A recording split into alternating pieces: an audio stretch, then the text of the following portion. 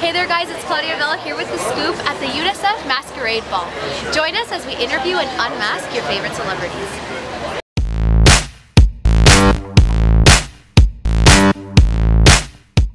UNICEF Next Gen is an amazing organization. It helps children around the world who are in difficult circumstances, and what better cause than that? It's cause, even our divided political climate, that we can all get behind.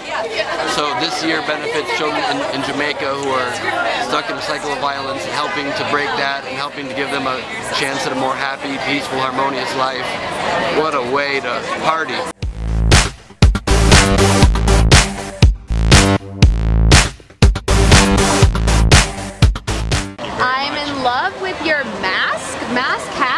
Mask it? hat. Show me, show me.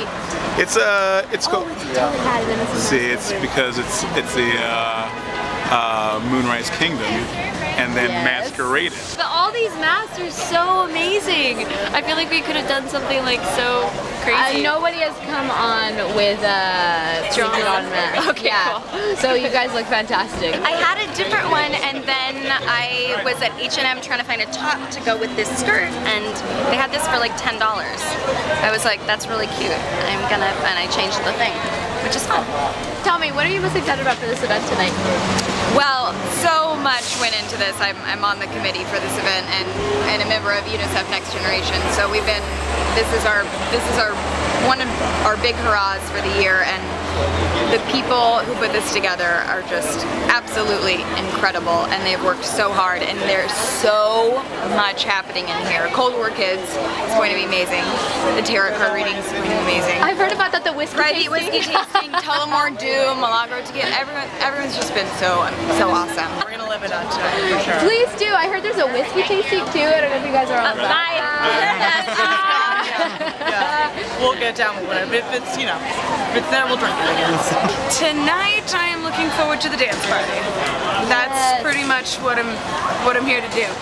What? Sorry, how, can I like get personal or like? Uh, Go ahead, oh, okay, please. cool. That's what we want. Alright, cool, cool. Yeah, like I said, I'm just looking to have fun. I just got a newborn, and it's my daddy's first night out, so I'm just here to enjoy myself and uh, you know meet good people, have a good time with good friends. So UNICEF stands for Health, Education, Protection, and Equality. Is there anything that you focus on I know, right? that That, to me, what's most important nowadays, I mean, it's always education. Education definitely help, but um, especially with the youth. Like, uh, I like to, I'm a huge advocate for like, you know, young children and nowadays, and like, Especially to now me, being it's a new daddy. Yeah, being a new daddy, but even prior to that, I mean, I feel like, you know, you really got to stick to your education and just keep pushing forward in this world. Like, always want to know more and more and more. Knowledge is power.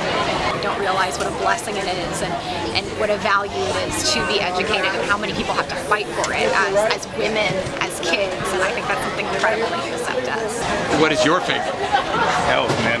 That's always health. I mean, I think gender equality for me is, is, is the hot button issue of the year, so that's kind of my choice. I Uh, agree. I mean, you can't not say gender equality.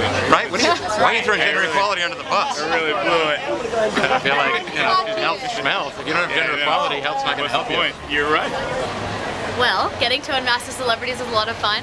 I'm Claudia Bell here with The Scoop. That's all we have for tonight. Fight on.